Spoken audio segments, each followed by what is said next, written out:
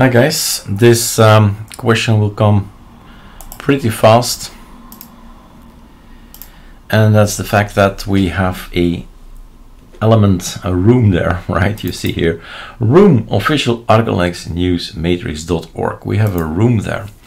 And you can find ourselves, find us in the general chat. So where everything goes, I would say, but just write ArcoLinux, general support, help, and news is for me saying, okay, there's new thing, there's new that, and such.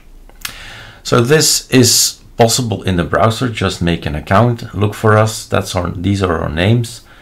And um, what I'm gonna show you now is that we have silently tested this, this, this social media channel out and it's a good to go, right? It's all right, but um, sometimes we do want things to be local, like Discord can be a website. And just go to this Discord and never mind the application that's up here waiting for me, right? Or Telegram. But Telegram we can't go online, right? That's true. But Discord is pretty much the same. What if I could install a package sudo pacman minus s, something with element. All right, let's have a look. Element desktop, element web, those things are what we need. Element desktop. A few packages, so it relies on Electron 13. And now I have it, of course, locally on my machine. Element, enter. So this is your wait in, decentralized, encrypted chat collaboration powered by Matrix. Welcome to Element. Well, it's entirely, of course, up to you to do this or not, so sign in or not, uh, or create an icon, uh, account, I mean. So that's up to you. I don't know if I can show you anything else, but there's more than just ArcoLinux, of course. There's Manjaro, Raspberry, Raspberry Pi.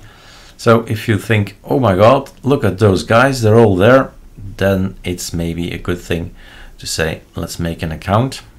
Maybe you think there are things in here that I don't recognize, but you recognize and you say, wow, want to be part of the, that community? Well, create an account. Let's have a look if ArcoLinux comes out of it.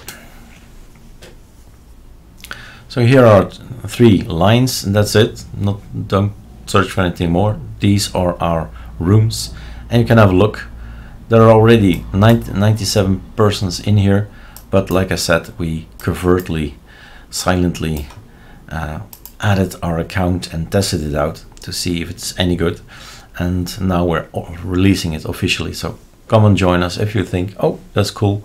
But of course, it will be the same as, as Telegram. Well, Telegram is chit chat, but this has a chit chat, but then in the sense that it's still about ArcoLinux. Um, it's another medium. It's simple as that this will be just for me.